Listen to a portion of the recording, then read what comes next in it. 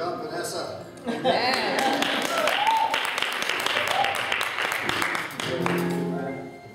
They mentioned in uh, the speech, Dr.